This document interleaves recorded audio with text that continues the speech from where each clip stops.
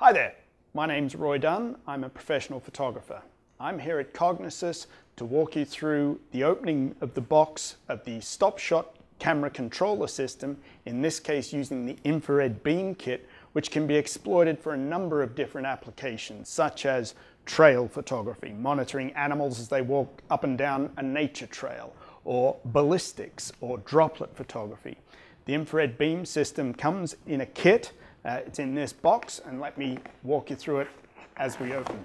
Every StopShot system that is shipped comes with a CD with uh, all of the manual, user manual and instructions available.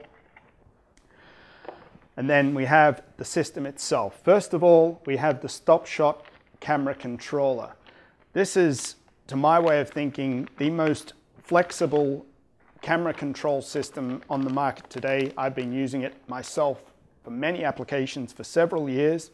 The system itself, it's very small, compact, very, very configurable.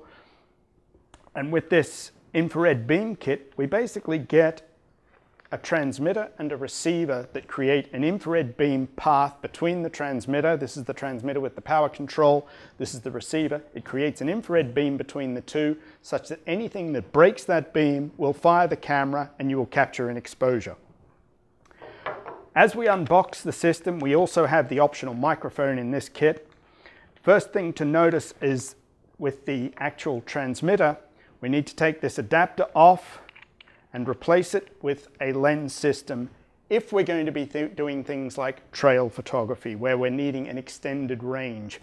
If you're using this, the infrared beam system for ballistics or perhaps droplet photography, where your range where the length of the beam only needs to be about a foot or so, you can leave this adapter right on there.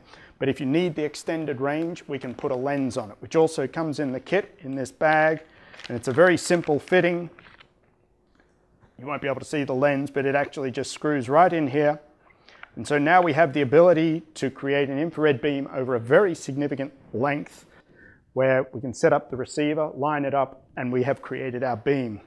So these transmitters and receivers are in very flexible um, fittings because we can use P standard PVC pipe available at any hardware store in order to create any mount that you like of any length. So if you want to put these up in trees or hang them from branches or stick them around a house corner, you can play with that. If you simply want to attach them to a tripod, however, the kit also comes with standard tripod mounts. So we take out this fitting and replace it with the tripod mount in both the receiver and the transmitter. Very simply screw them in once more and you can see the base of this mount has a quarter 20 thread to attach to any tripod. We'll talk uh, about actually setting the system up and, and firing the camera in a, in a separate video. But that's how you receive the system in the box. What I didn't mention is you get all of the necessary cables as well. You get the power adapter and the connecting cables for the sensors. Thanks for watching.